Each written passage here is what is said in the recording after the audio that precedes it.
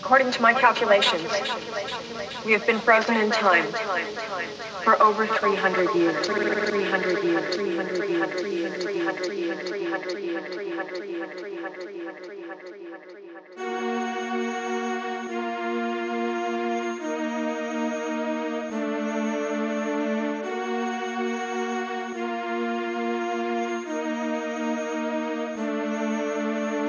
According to my calculations, we have been frozen in time for over 300 years. 300